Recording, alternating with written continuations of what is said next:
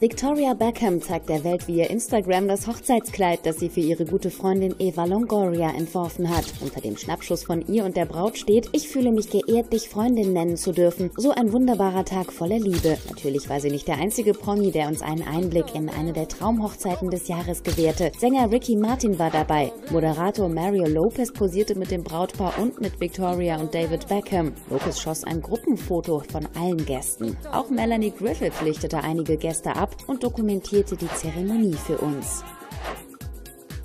Die glückliche Braut heißt inzwischen auch schon im Netz Eva Longoria Baston und ließ uns einen Blick auf die Eheringe werfen und am Morgen danach teilhaben. Da war Relaxen mit Victoria angesagt.